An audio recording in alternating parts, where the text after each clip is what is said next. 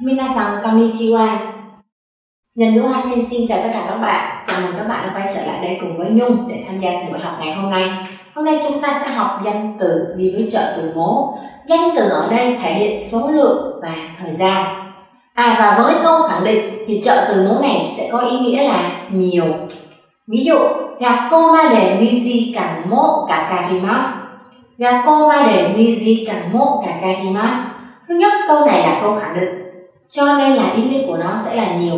Vậy thì có nghĩa là đến trường thì tốn mất tới tận 2 tiếng. Còn nếu như đi với phủ định, thì trợ từ mố này lại thể hiện với ý nghĩa là ít hoặc có nghĩa là không.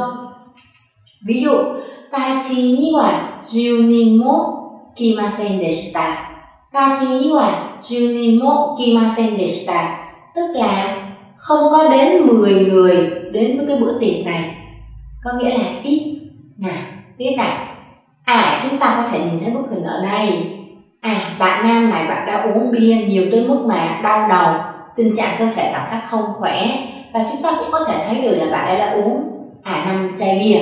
Vậy thì chúng ta muốn nói về một số lượng nhiều thì câu này đầu tiên sẽ phải là câu khẳng định, đúng không?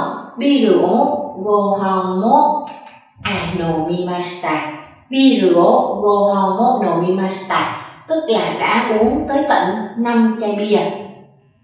Còn ở đây à ở đây chúng ta có watashi wa sukato tổ. là các bạn nhìn vào hình và các bạn cũng thấy, riêng cái phần hình của sukato đã bị đánh dấu x, tức là mình không có. Vậy thì à ichimai mo motte imasen watashi wa sukato ichimai mo motte imasen tức là tôi không có không có váy nên một cái cũng không có có ý nghĩa là không có à cảm ơn các bạn đã tham gia buổi học ngày hôm nay cùng với nhung các bạn nhớ làm thêm bài tập ở link bên dưới để chúng ta có thể nhớ được lâu hơn và có thể hiểu rõ hơn.